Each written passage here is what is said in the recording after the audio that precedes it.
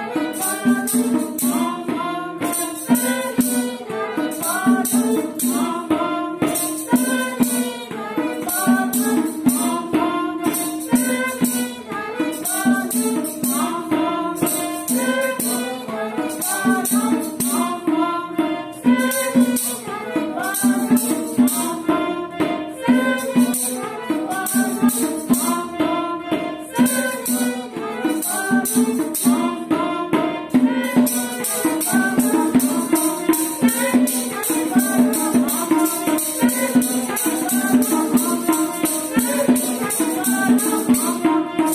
you.